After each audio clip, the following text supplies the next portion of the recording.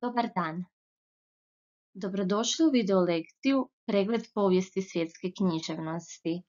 Ova video lekcija namijenjena je učenicima četvrtoga razreda srednje škole, ali i svima onima koji se žele upoznati s poetičkim obilježjima, predstavnicima i najznačajnijim dijelima svjetske književnosti. Nakon aktivnog sudjelovanja u današnjoj video lekciji moći ćete imenovati razdoblja u povijesti svjetske književnosti, protumačiti poetička obilježja razdoblja u povijesti svjetske književnosti, usporediti ta razdoblja na temelju njihovih sličnosti i razlika, imenovati najznačajnije predstavnike i dijela i na kraju protumačiti utjecaj svjetske književnosti na razvoj hrvatske književnosti. Kako biste tijekom video lekcije mogli pisati bilješke, za rad su vam potrebni papir i pribor za pisanje. Prije nego li se upoznamo s povješću svjetske književnosti, osvrnut ćemo se na neke temeljne pojmove koji su nam važni za razumijevanje svega onoga u čemu ćemo u nastavku video lekcije promišljati. Vjerujem da znate kako je povijest književnosti dio znanosti o književnosti koja se bavi proučavanjem književnih dijela u njihovu povijesnome slijedu. Vrlo važno je definirati književno razdoblje s obzirom da ćemo govoreći o povijesti književnosti govoriti o različitim književnim razdobljima koji su se izmjenjivali tijekom vremena. Književno je dakle razdoblje vrijeme u kojemu su vrijedila neka određena poetička obilježja, a poetička obilježja, odnosno sama poetika, jest sveukupnost nekih obilježja koja su vladala u određenom razdoblju. Na slikokazu možete vidjeti prikaz razdoblja u povijesti književnosti. Najprije, prije nego li smo išta zapisali, zapravo čovječanstvo je usmenim putem prenosilo književna dijela iz naraštaja u naraštaj, učeći ih na pamet ili mijenjajući njihov sadržaj, ovisno o tome kakvim okolnostima, narodima su nastajala. Stoga na početku povijesti književnosti stoje temeljna civilizacijska dijela. Ona pripadaju prvim civilizacijama svijeta Svjedočanstvo su o načinu života i vjerovanja ljudi koji su bili članovi tih civilizacija. Prvo razdoblje u povijesti svjetske književnosti je razdoblje antike, nakon čega slijedi srednji vijek, pa humanizam i predrenesansa, nakon toga renesansa, a nakon renesanse dolazi barok. Poslije baroka u povijesti svjetske književnosti pojavljuju se klasicizam i prosvjetiteljstvo, koje nasljeđuje romantizam, kojemu se onda poslije suprotstavlja realizam, nakon čega slijedi modernizam i na koncu postmodernizam koji i danas živimo. Na početku ovoga kratkoga pregleda povijesti svjetske književnosti prisjetit ćemo se temeljnih civilizacijskih dijela koje pripadaju egipatskoj, indijskoj, sumersko-babilonskoj, židovskoj i arapskoj civilizaciji. Ostavština egipatske civilizacije jesu knjiga mrtvih i pouka mudrosti. Vjeruje se da su Egipćani svoje književne tekstove pisali i na zidovima piramida a da su knjigu mrtvih sa sobom nosili i u zagrobni život. Sumersko-babilonsku civilizaciju obilježio je po Gilgamešu. Možemo reći da je to svevremenska priča o prijateljstvu između Gilgameša, koji je bio vladar grada Uruka i njegova prijatelja Enkidua. Najvažnija su dijela pak indijske književnosti Vede u kojima su zapisani svi sveti spisi religiozne i mistične tematike hinduizma. Osim toga, indijska književnost bogata je i za ep Mahabharata. Okosnicu toga epa čini sukob između dviju grana indijskog plemena Kuru. A najvažnije dijelo arapske civilizacije jest Kuran, u kojemu je zapisana Božja objava islamskom poslaniku Muhamedu. Knjiga koja je obilježila povijest svjetske književnosti, povijest zapadnoeuropskog kruga, kulturnoga, svakako je Biblija. Knjiga koja, koju su iznjedrile zajedno hebrejska i kršćanska civilizacija. Pa su ova dijela udarila temelje za tisućljeća povijesti svjetske književnosti koja će nakon njih uslijediti. Kao što smo se već i napomenuli i prisjetili se, prvo je razdoblje u povijestu svjetske književnosti antika. Naziv antika dolazi od latinskog pridjeva antikus, što znači star ili drevan, a ponajprije se odnosi na drevnu grčku i rimsku kulturu. Antička književnost obrađuje mitske teme, a čovjek je u samome središtu njezina propitivanja. Podijeljena je na grčku i na rimsku književnost. Razvoj antičke grčke književnosti promatramo kroz četiri razdoblja. Prvo je od njih arhajsko koje je trajalo od prvih pisanih spomenika do 600. godine prije Krista. Drugo klasično razdoblje trajalo je u 5. i 6. stoljeću prije Krista, a treće aleksandrijsko razdoblje trajalo je od 3. do 1. stoljeća prije Krista.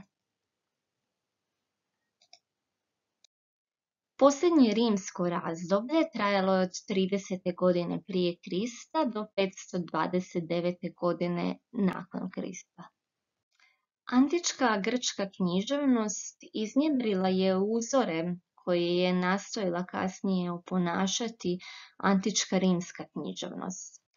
Poljevci grčke kulture rođene su i povijesti filozofija, dakle znanost, a sve to utjecalo je onda i na razvoj književnosti. Grčka je kultura utemeljena na snažnom mitološkom vjerovanju koje je onda utkano i u njezinu književnost. Grčki su bogovi bliski ljudima jer imaju njihove osobine. Oni vole, oni se svađaju, oni mrze, raduju se, sretni su, plaču. Pa čak se zaljubljuju i u smrtnike. Likovi su grčke književnosti često podijeljeni između božanskih i ljudskih zakona. S obzirom na to da je u antici čovjek u središtu promišljanja, to se očituje i u književnosti. Anakreonska lirika slavi životne radosti, ljubav, radost, veselje, a njezino si glavni predstavnici Anakreonti Sapfon. Česti pjesnički oblik u grčkoj antičkoj književnosti i himna, ali i ditiramb. Epovi pak proslavljaju grčko junaštvo. Sigurno su vam dobro poznate Homerova Ilijada i Odiseja. Velik dio grčke književnosti počiva na različitim mitovima o bogovima i ljudima.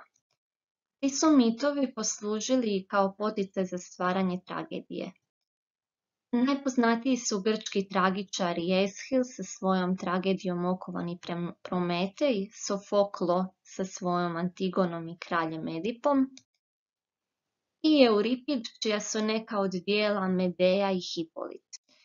U grčkoj književnosti razvijala se i komedija, a glavni su joj predstavnici bili Aristofan sa svojom komedijom Ptice i Menandar s komedijom Čovjekomrzac. Rimska je književnost oponašala grčku književnost i razvijala se u pet razdoblja. Prvo, predknjiževno doba trajalo je od prvih pisanih spomenika do 240. godine prije Krista. Drugo arhajsko doba trajalo je od 240. do 80. godine prije Krista. Treće, arhajsko, odnosno ispričavam se klasično, odnosno zlatno doba, trajalo je od 80. godine prije Krista do 14. godine poslije Krista, odnosno za vrijeme Krista. Srebreno, ili kako ga još nazivamo, doba novog stila, trajalo je od 14. godine za vrijeme Krista do 117. godine poslije Krista. Kasnoantičko doba trajalo je od 117. godine do 529. godine. Trajanje književnih razdoblja trebamo shvaćati okvirno, a ne nikako jasno i točno određeno.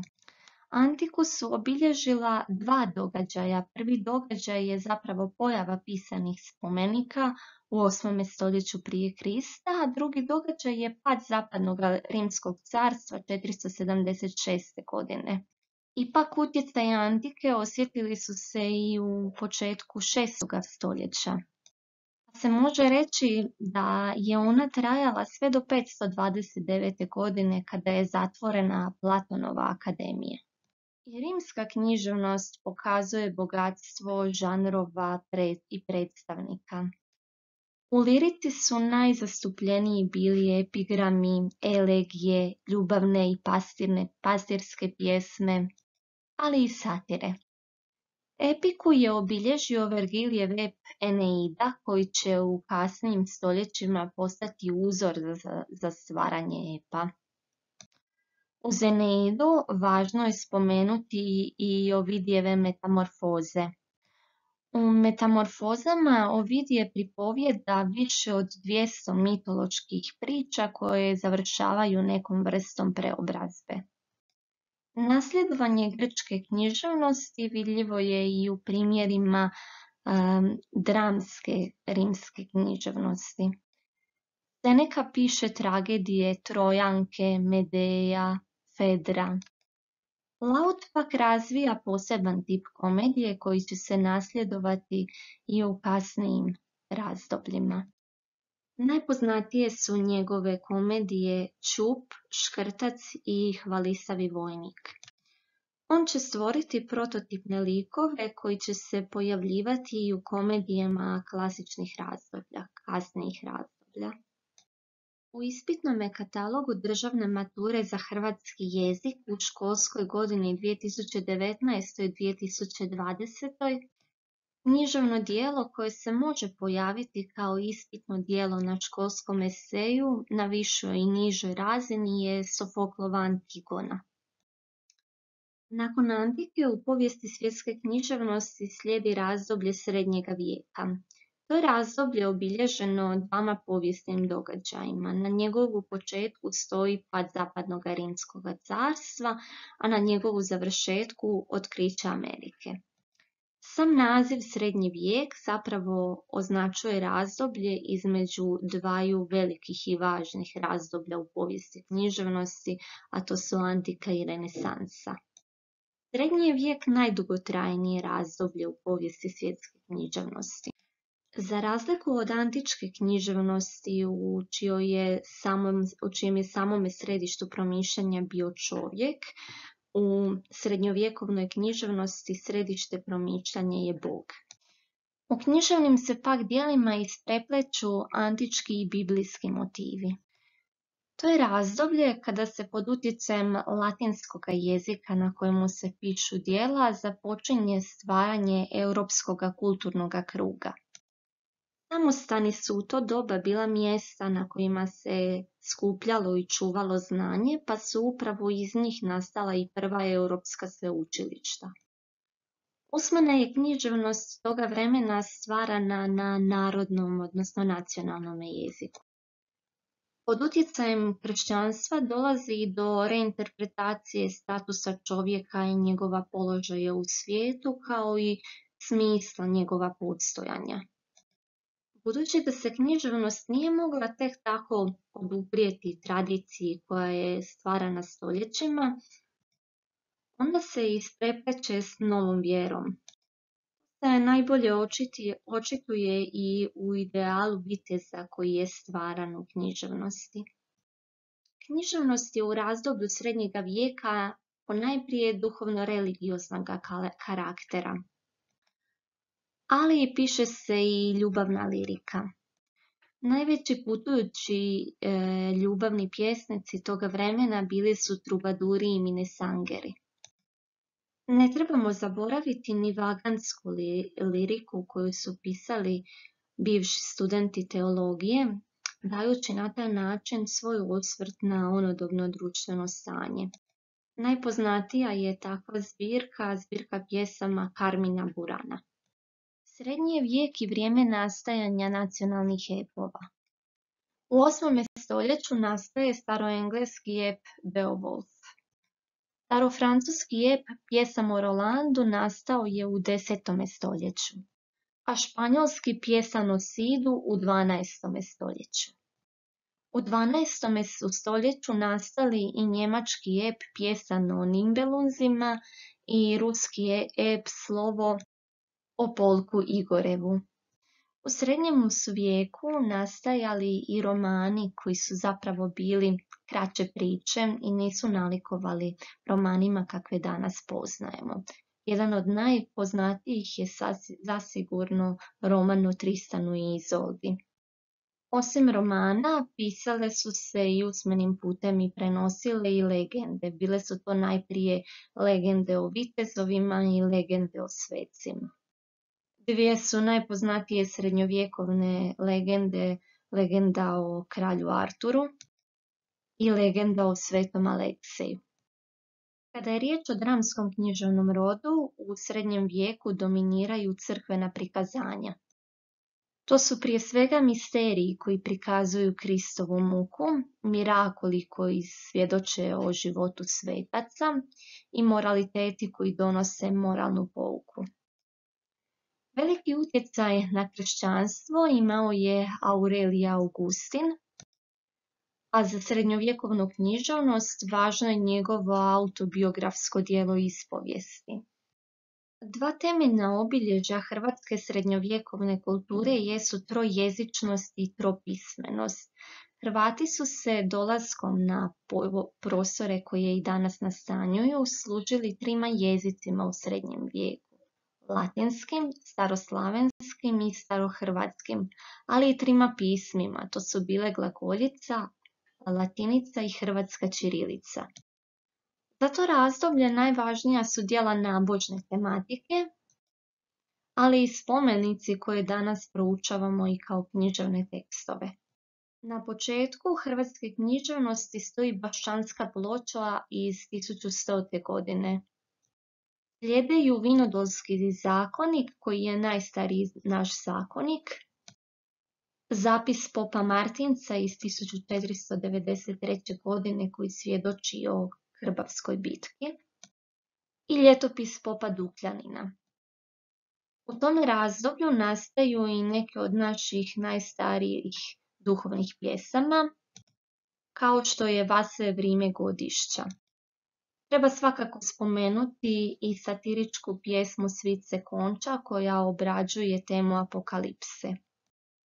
Na koncu razdoblja srednjega vijeka i na ulasku na pragu u novi vijek pojavljuju se u hrvatskoj književnosti i inkunabule. To su sve one knjige koje su tiskane od izuma tiskarskog stroja do 1500. godine. Prva je naša inkunabula misal po zakonu rimskog dvora iz 1483. godine. Razdoblju srednjega vijeka suprotstavljaju se humanizam i predrenesansa koje čovjeka ponovno stavljaju u središte. Riječ je ponajprije o kulturnom pokretu čiji je cilj obnova antičkoga nasljeđa. Teme su vezane uz čovjeka i njegovu svakodnevicu. A autori pišu i na latinskom i na narodnom jeziku. Najvažniji su predstavnici toga razdoblja Dante Alighieri, Francesco Petrarca i Giovanni Boccaccio. Francesco Petrarca posebno se istaknuo svojom lirikom koja je po njemu dobila naziv i petrarkistička lirika.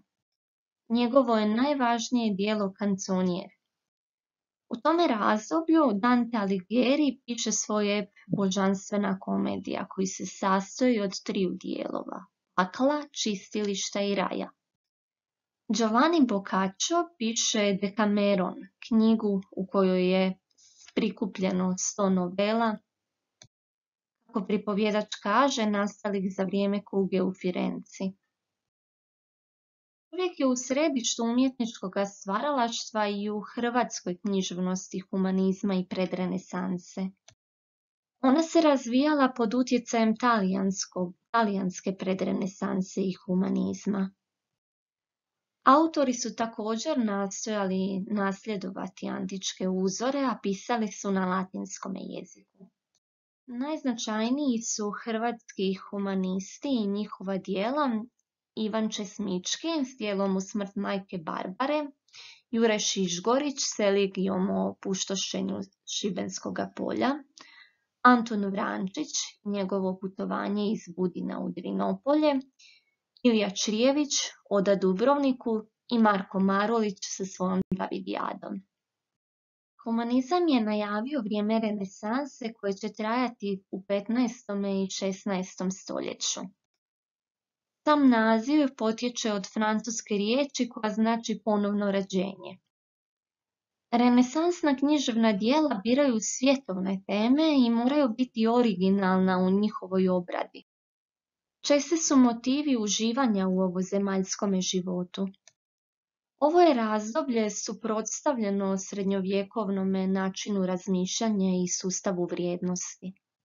Budući da je cilj nasljedovati antičke i predrenesansne uzore, onda je i stil književnih dijela jasan, svečan i uzvišen. Piše se petrarkistička i ljubavna lirika, a u francuskoj pjesničkoj školi Plejada nastaje i novi refleksivni tip lirike.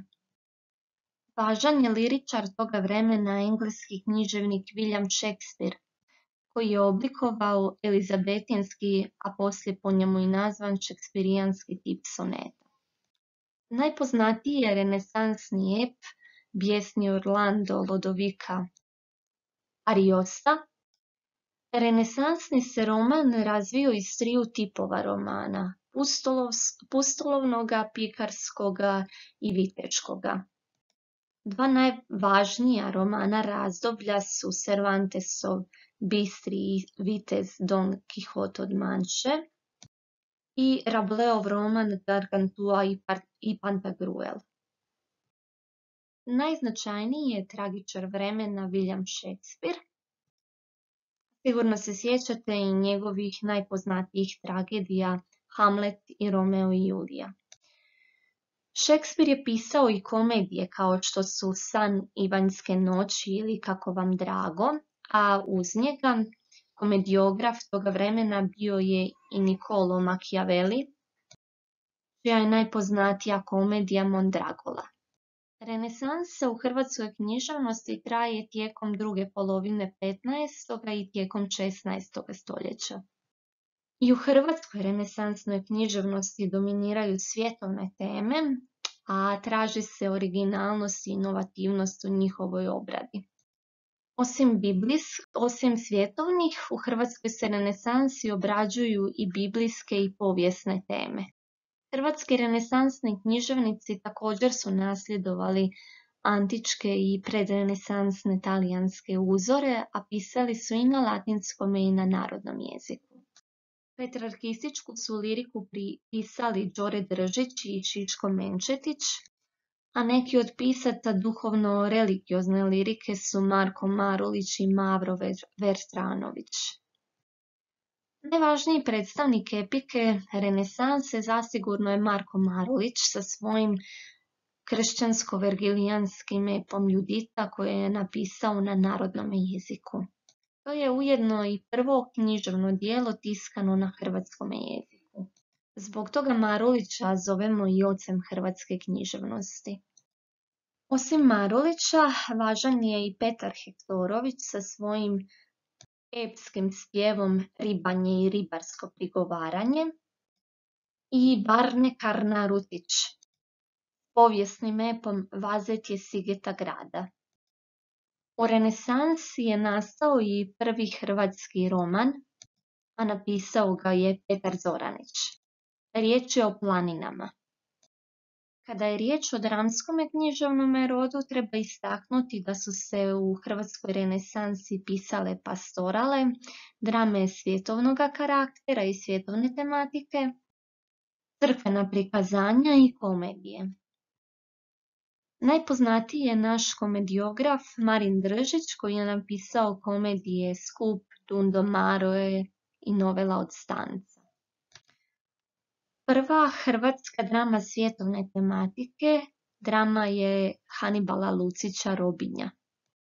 Književno ispitno dijelo za školski esej koji se može pronaći na državnoj maturi 2009, školske godine 2019. i 2020. Iz razdoblja renesanse je Šekspirov Hamlet. To dijelo predviđeno je za cjelovito čitanje i na osnovnoj i na višoj razini. Razdoblje koje je u svjetskoj književnosti uslijedilo nakon renesanse je barok. To je razdoblje trajalo od 1570. do 1670. godine. Ime je dobilo po portugalskoj riječi baroko koja znači biser nepravilna oblika. Poetika baroka suprotstavlja se poetici renesanse. Kao i u srednjem vijeku, ponovno se obrađuju religiozne teme. Ukazuje se na svijest o prolaznosti života, pa su stoga dominantni osjećaj nesigurnost, pesimizam i unutarnji nemir. Temeljni su motivi barokne književnosti prolaznost života i ovozemaljskih užitaka i podvojenost između svjetovnosti i straha pred smrću. Izraz kojim se pišu književna dijela je kičast, bujan i bogat ukrasima. To se postiže upotrebom, upotrebom mnoštva stilskih figura kao što su alegorija, simbol, hiperbola, kontrast i končeto. Dominira refleksivna lirika, čiji su glavni predstavnici Luis de Gongora i Giambattista Marinu.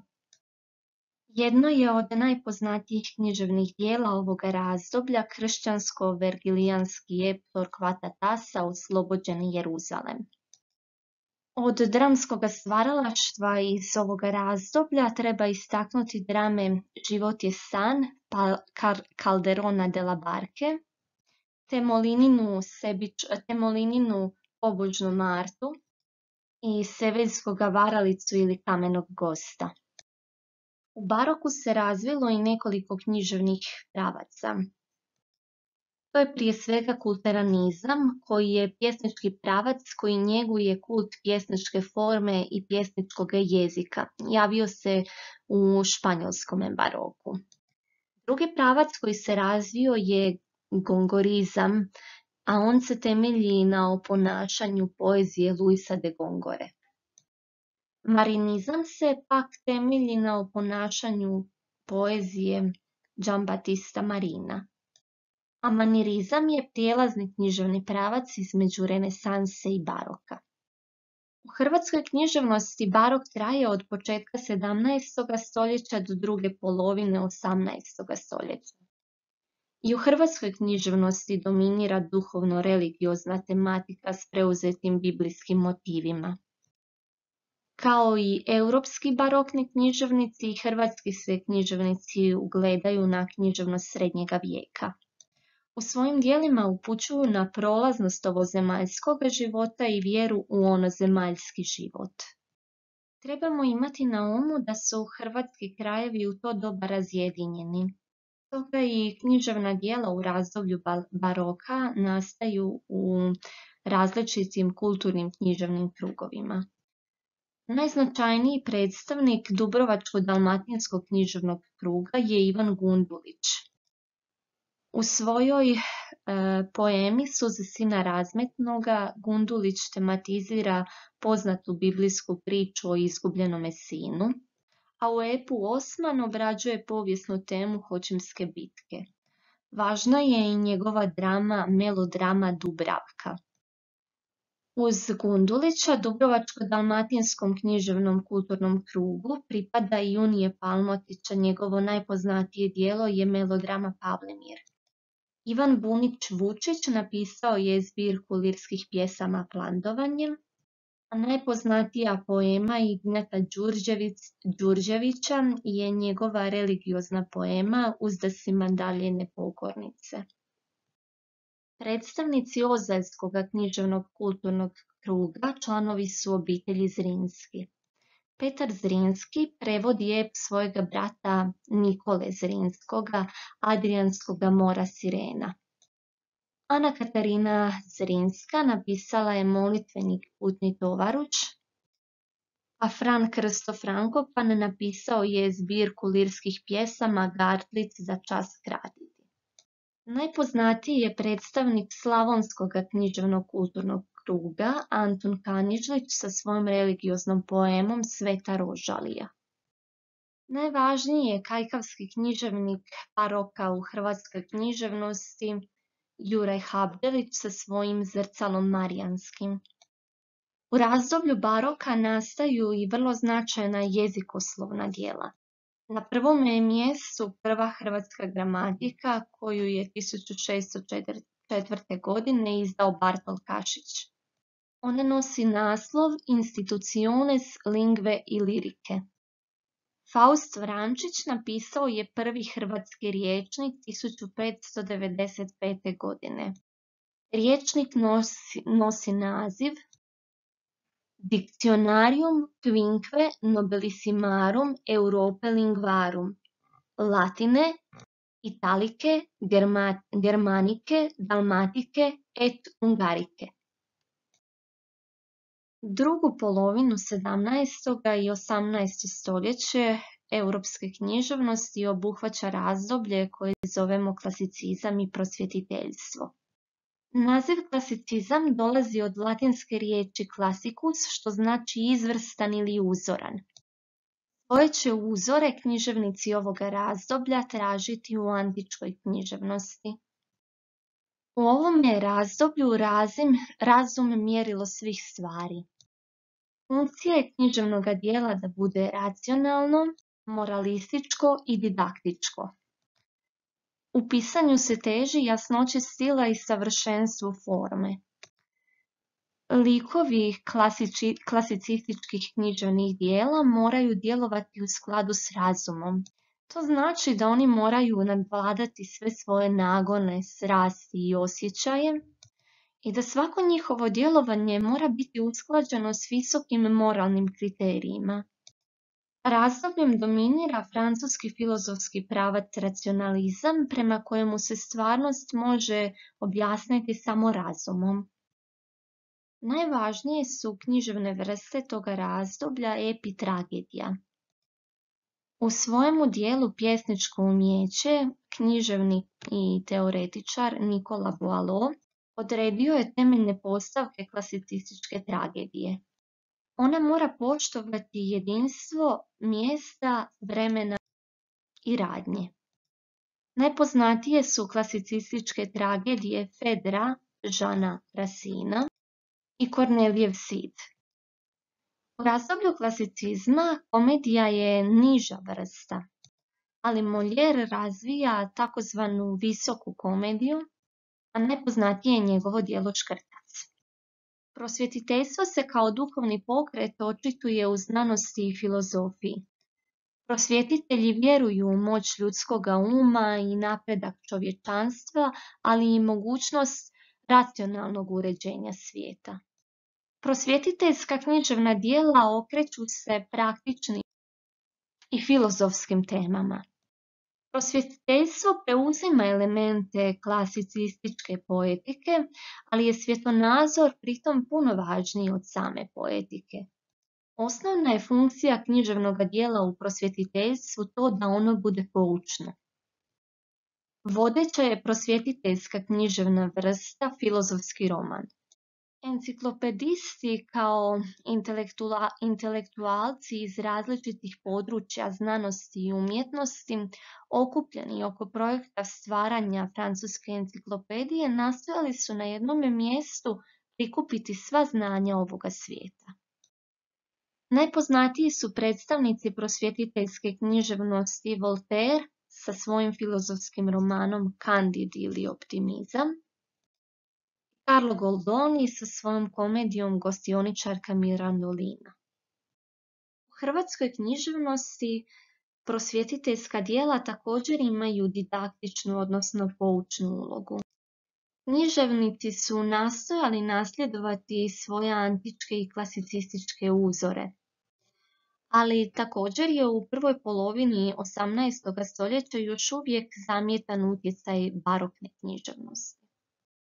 Najvažniji je predstavnik kajkavske književnosti Tituš Brezovački sa svojim dijelima Matijaš Grabancijaš Dijak i Diogeneš. U Dalmaciji pišu Andrija Kačić-Mijošić i Filip Grabovac. U Slavoniji Matija Anton Reljković piše svoj poučni spjev Satir ili ti divi čovjek kojim nastoji naučiti Slavonce i poučiti ih boljemu životu. Važan je predstavnik slavonske književnosti toga vremena i Matija Petar Katančić sa svojim dijelom Jesenski plodovi. Kraj 18. i početak 19. stoljeća u povijesti svjetske književnosti označeni su kao razdoblje u kojemu je trajao romantizam. Naziv romantizam dolazi od engleske riječi romantik, koja znači nešto nalik srednjovjekovnom romanu, maštovito, osjećajno, fantastično i nestvarno. Pokret su najavili francuski i engleski predromantizam u 18. stoljeću, a obilježja toga pravca bili su osjećajnost, buntovnost protiv feudalaca, zanimanje za povijest i za usmenu književnost. Dominantan je osjećaj toga razdoblja, osjećaj svjetske boli koji nastaje iz tuge zbog nesklada između svijeta i mašte. U Njemačkoj je romantizam najavljen pokretom Sturm und Drang, prijevodu Oluja i nagon, a glavna krilatica toga pokreta bila je osjećaj je sve. U romantizmu se tematiziraju osobne preokupacije likova, dakle njihova intima. Romantičarsko poimanje ljepote uključuje i estetiku ružnoga. Romantičarski likovi nesretni su i neshvaćeni ljudi koji smisao života traže u prirodi i u osjećajima. Književnost ima ponajprije estetsku ulogu, teži se slobodi izraza i forme, pa je vrlo često i isprepletanje književnih rodova. Najznačajniji su predstavnici njemačkog romantizma Johann Wolfgang von Goethe s dijelima Patnje mladoga Wertera i Faust, te Friedrich Schiller s dramom Razbojnici. Engleski su pak najznačajniji romantičari George Gordon Byron s dijelom Putovanje Childa Herolda, Mary Shelley s romanom Frankenstein ili Moderni Prometej i jezerski pjesnici. Predstavnici su francuskog romantizma Alphonse de Lamartine, čija vam je antologijska pjesma Jezero vrlo vjerojatno poznata, i Victor Hugo sa svojim romanom Zvonar crkve Notre. Začetnik kriminalističke priče, Edgar Allan Poe, predstavnik je romantizma u Sjedinjenim američkim državama, a neka od najpoznatijih njegovih dijela su Gavran i Crni mačak. Ruski književnik Aleksandar Sergejević Puškin napisao je roman u stihu Evgenij Onjegin, Mihail Jurjević Ljermontov napisao je roman Junak našeg doba. Hrvatski romantizam obilježila su dva pokreta. Ilirizam kao politički pokret čiji je cilj bilo ujedinjenje svih južnih Slavena i Hrvatski narodni preporod kao pokret za očuvanje hrvatskog nacionalnog identiteta. Hrvatski narodni preporod trajao od 1813. do 1860. godine i za razumijevanje ovoga razdoblja potrebno je poznavati kronologiju događaja. 1813. godine biskup Maksimilijan Vrhovec poziva svećenike svoje biskupije na prikupljanje narodnog blata. 1815. godine Anton Mihanović piše reč domovini o hasnovitosti pisanja na domorodnom jeziku. A 1830. Ljudevid Gaj objavljuje svoju kratku osnovu horvatsko-slavenskog pravopisanja. 1832. grof Janko Drašković objavljuje dizertaciju kao politički program pisan na hrvatskom jeziku. 1835. godine počinju izlaziti novine Horvatske s prilozima Danica Horvatska, Slavonska i Dalmatinska, koje 1836. mijenjaju ime u, u novine Ilirske. 1842. godine osnovana je Matica Ilirska koja će poslije postati Matica Hrvatska i počeo je izlaziti časopis Kolo. 1843. godine Ivan Kukuljević Sakcinski održao je javni govor u Hrvatskom saboru na hrvatskom jeziku, a 1847. godine hrvatski jezik postaće službeni jezik u Hrvatskoj. Hrvatski su romantičari pisali domoljubne lirske pjesme, među kojima se najviše ističu Budnice i Davorije. Najvažniji su predstavnici Antun Mihanović koji je napisao i tekst Horvatska domovina, čije prve četiri strofe danas čine hrvatsku himnu, te Ljudevid Gaj i Petar Preradović.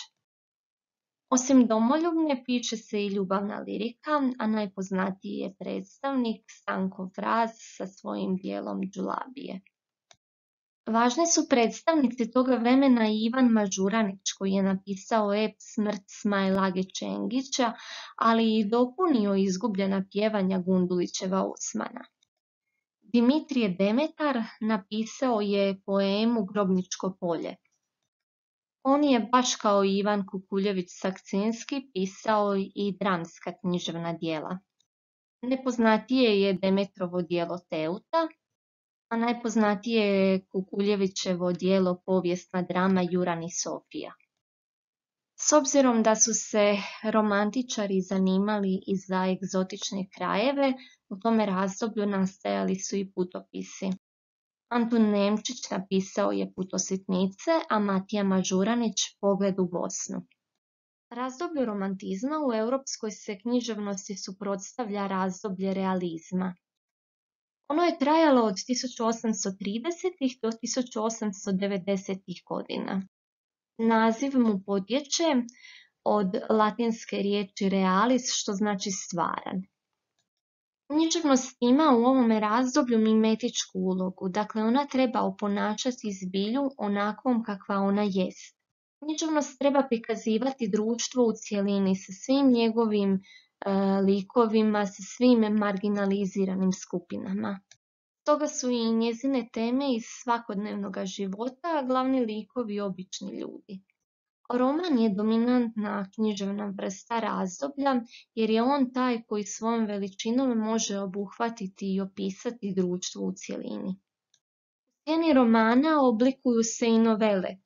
One predstavljaju fragment istrgnut iz ljudske sudbine, obzirom da lirika nije zapravo dio konvencije, ona se onda izdvaja i razvija izvan realističkih pravila.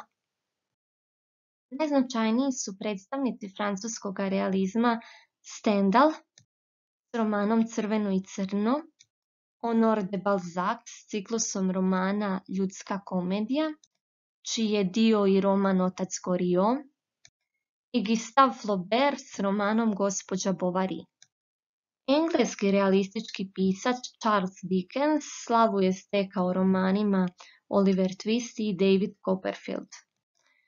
Ruska se pak književnost realizma razvila pod Gogoljevom kabanicom, a drugi značajniji predstavnici su Fjodor Mihajlović Dostojevski sa svojim dijelima Zločeni kazna, Idiot, Braća Karamazov i Lav Nikolajević Tolstoj s dijelima Ana Karenjina, Rat i mir i Uskrsnuće.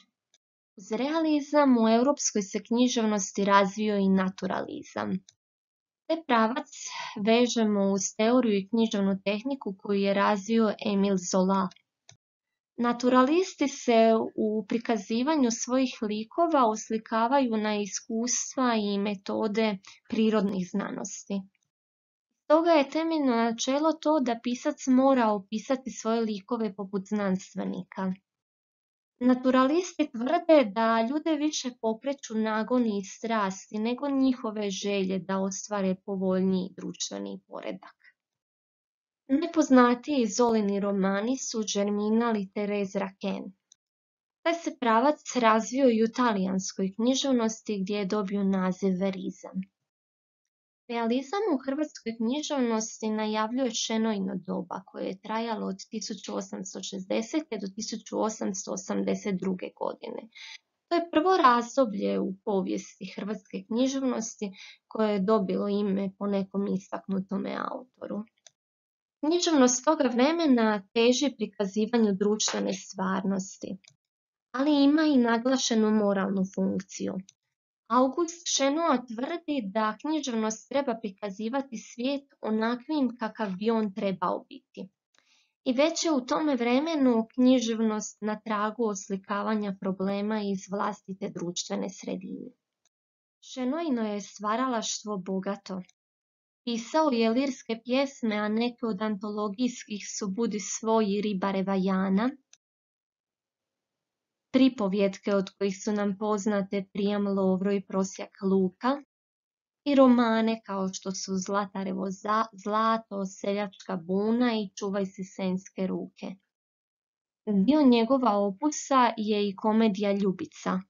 Osim Čenoje, u tome su razdoblju stvarali i pisali i, Anton i Ante Starčević, Luka Botić i Vatroslav Jadić. Godinom u kojoj je umro August Šenoa, dakle 1882. započinje hrvatski realizam koji je trajao do 1892. odnosno 95. Književnosti realizma napušta se sentimentalnost romantizma, kao i sentimentalnost u oblikovanju likova i fabule. Književnost treba oslikati društvenu stvarnost, pa je umjesto pripovjedanja sve više psihološke karakterizacije likova. Hrvatski realisti oslikavaju društvene probleme sredina iz kojih dolaze. Probleme zagorske sredine oslikavaju Ante Kovačić sa svojim romanima u registraturi i Fičkal i Ksaver Šandor Đalski sa zbirkom pripovjedaka pod starim krovovima – Primorsku sredinu u svojim romanima oslikavaju Vjenceslav Novak sa Posljednjim Stipančićima i Eugen Kumičić u romanu Urota Zrinsko-Frankopanska. Slavonsku sredinu prikazuje Josip Kozarac u svojim pripovjetkama Tena i Slavonska šuma. Jedini pjesnik hrvatskog realizma bio je Silvije Strahimir Krančević. Nekoliko je dijela koja se mogu naći kao ispitna dijela na školskom eseju na državnoj maturi u školskoj 2019. i 2020. godini. Na osnovnoj razini to su Zločini kazna Fjodora Mihajlovića Dostojevskoga i roman u registraturi Ante Kovačića. Uz te romane na višoj razini može se pojaviti i roman Vjenceslava Novaka Posljednji Stipančići. Modernizam je u europskoj književnosti započeo 1857. godine. To je godina kada je Charles Baudelaire objavio svoju pjesničku zbirku e, zla, ali i kada je Gustave Flaubert objavio svoj roman Gospođa Bovary. Modernizam je zapravo naziv za više književnih pravaca kao što su larpolatizam, simbolizam, parnasovstvo i impresionizam i on se suprotstavlja poetici prethodnih razdoblja. Najprije se javlja u poeziji, a potom u prozi i u drami. Larpurlatizam je pjesnički pravac čiji se predstavnici zalažu za tezu da je umjetnost sama sebi cilj. Oni smatraju da književnost ne treba imati nikakvu moralnu funkciju, teže savršenstvu forme. Glavni im je predstavnik Teofil Gutije, Simbolisti se pak suprotstavljaju hladnoći izraza i objektivizmu i oni traže od umjetnosti da bude simbolična i sugestivna. Misao je poezije u nagovještavanju čiste ideje koju treba tražiti. Predstavnici toga pravca su Arthur Rimbaud i Stefan Mallarmé, dok je njegov začadnik Charles Baudelaire koji je bio i najveća inspiracija simbolistima. Parnasov svoj pjesnički pravac koji se odlikuje objektivnošću i hladnoćom izraza, bezosjećajnošću, impersonalnošću i virtuoznom formom. Glavni je predstavnik toga pravca Paul Verlaine. Impresionizam je pak pjesnički pravac koji se najprije pojavio u slikarstvu, a onda potom i u književnosti. On se temelji na zaustavljanju trenutnog i osobnog dojma. Najčešća mu je tema zapravo pejzaž koji oslikava i stanje duše.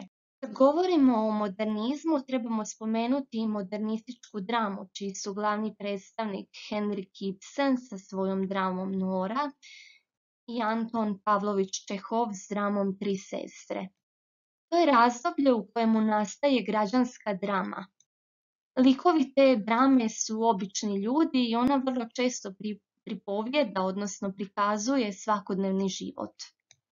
Hrvatska je moderna trajala od 1892. odnosno 1895. do 1914. godine. Kao što možete vidjeti, dvije su godine kao temelj i početak ovoga razdoblja. 1891. Janko Leskovar piše svoju novelu Misao na vječnost. 1892. Anton Gustav Matoš objavljuje Moć savjesti, što se uzima kao početak hrvatske moderne. Početak moderne obilježen je jednim neknjiževnim događajem. Riječ je o događaju iz 1895. godine pri otvaranju zgrade Hrvatskog narodnog kazališta u Zagrebu, kad su pred carom i banom hrvatski studenti zapalili mađarsku zastavu, nastojeći na taj način pokazati što misle o položaju Hrvata unutar monarhije. Zbog svojega su čina studenti izbačeni zapravo sa sveučilišta pa su otišli studirati u europske gradove kao što su Beč i Prag.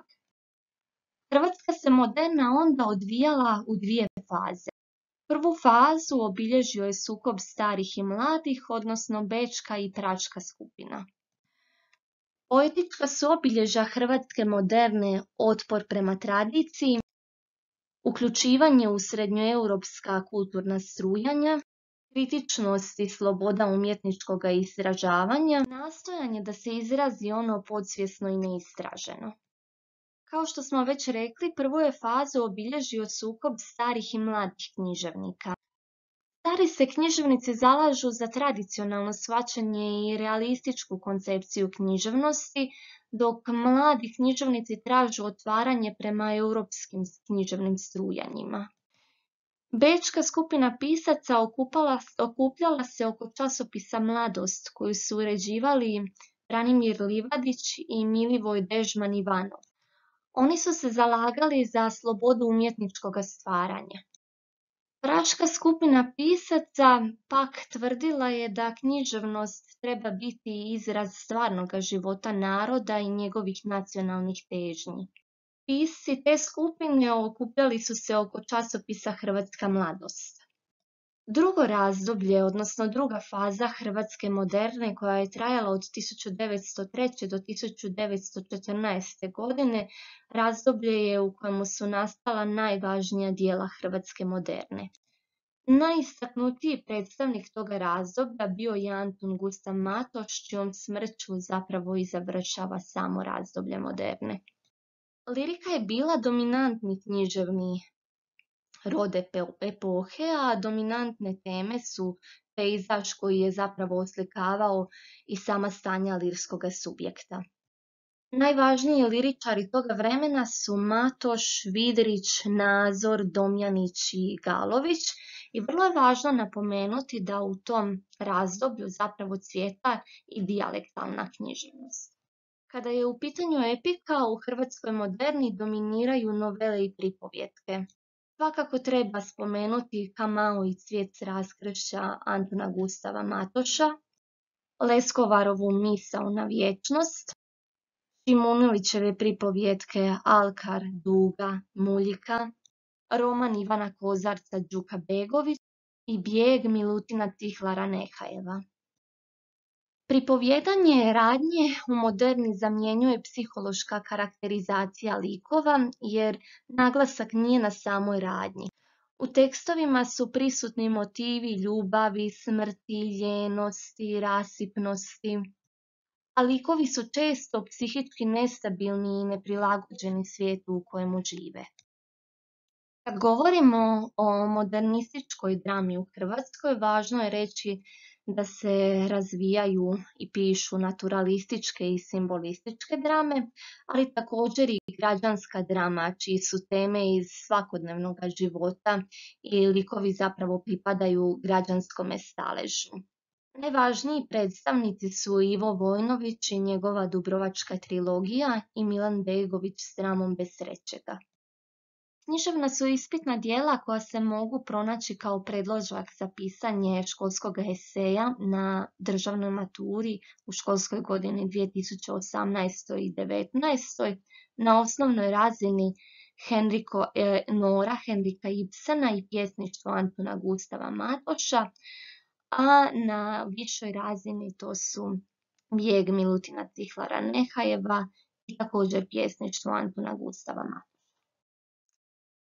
Modernizam, odnosno avangarda i kasni modernizam razdoblje je u europskoj književnosti koje je trajalo od 1910. do 1970. godina.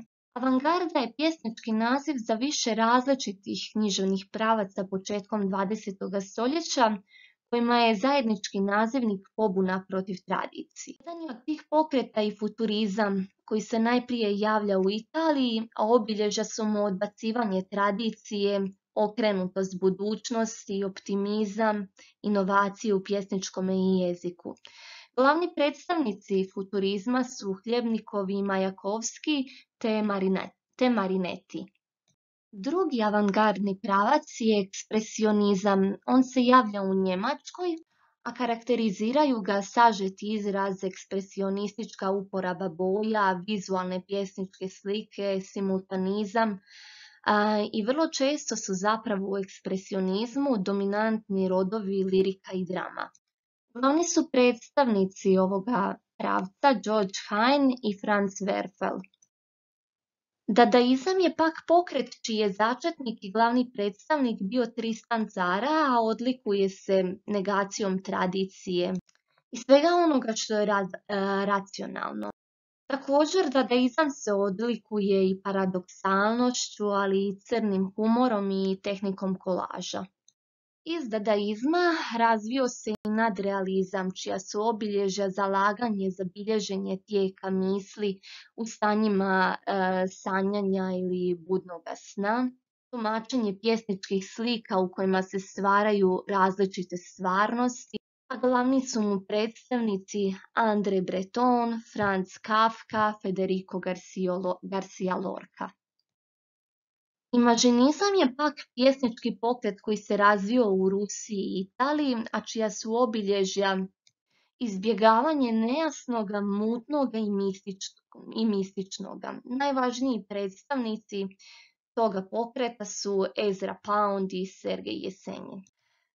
Socijalistički realizam javlja se početkom 20. stoljeća najprije u Francuskoj i njegov je cilj ostvarenje odgojne djelatnosti i umjetnosti na narod. Najistaknutiji predstavnik toga pravca bio je Maksim Gorki. Još jedan pokret u okviru avangarde je i egzistencijalizam.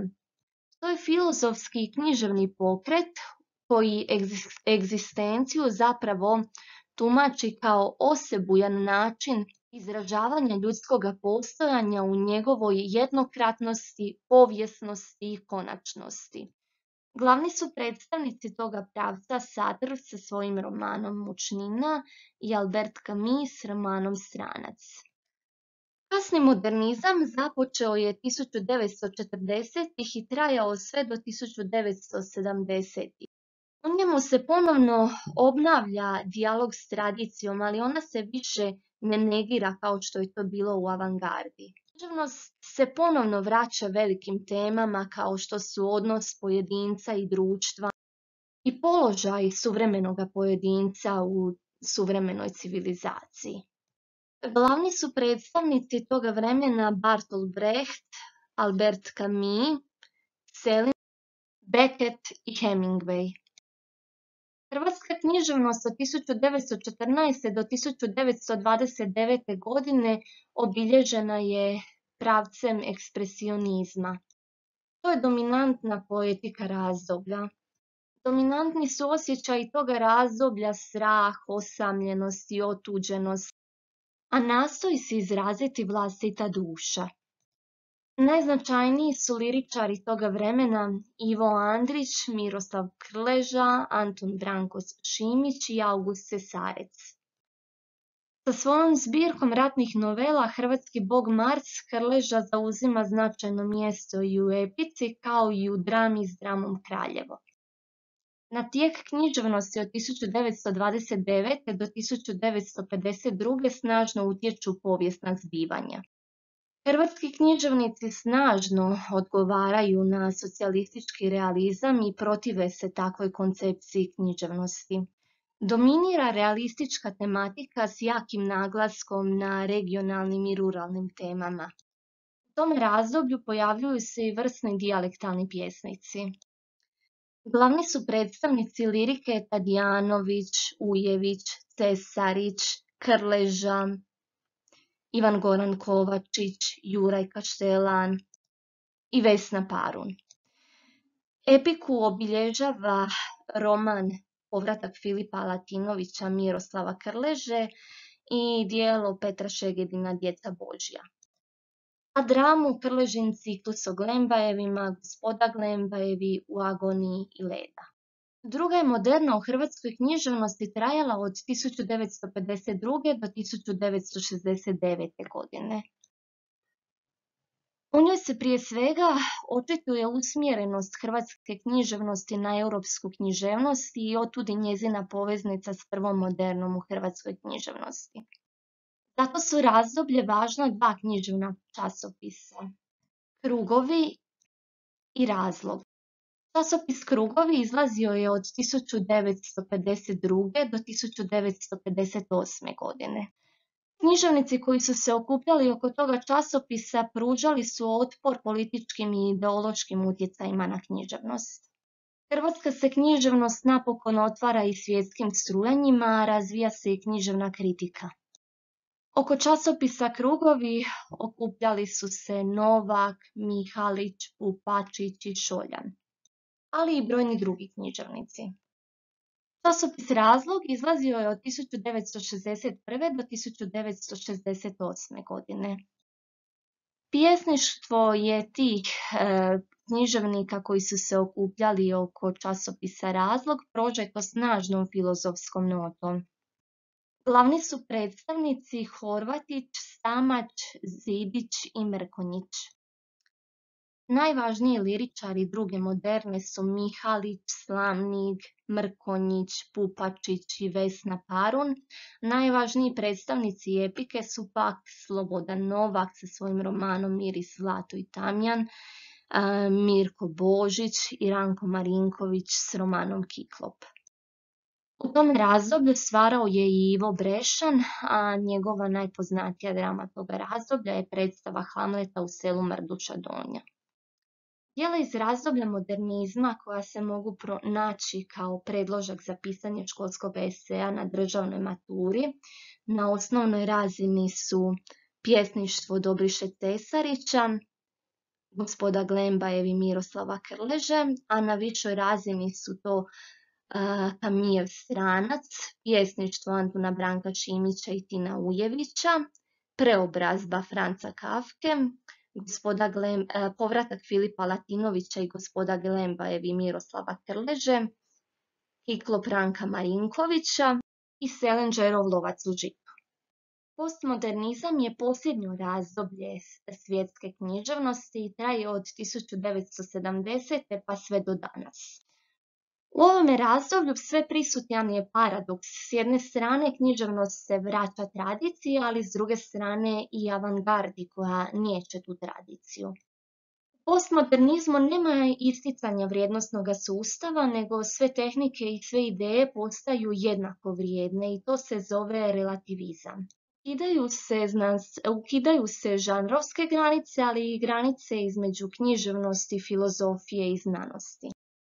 Neki od predstavnika postmodernizma su Jorge Luis Borges sa Alefom, Gabriel Garcia Marquez s romanom Sto godina samoće, Italo Calvino s romanom Ako jedne zimske noći neki putnik, Umberto Eco s romanom Ime ruže i Milan Kundera s romanom Nepodnošljiva lakoća postojanja. I postmodernizam u hrvatskoj književnosti započeo je 1970. godina. Odlikuje se po najprije raznovrsnošću stilova, Ponovno se uspostavlja dijalog s tradicijom koja se sada više ne niječe. Dva su važna postmodernistička postupka intertekstualnost i intermedijalnost. Intertekstualnost predstavlja povezivanje književnih tekstova citiranjem, parafraziranjem ili čak parodiranjem.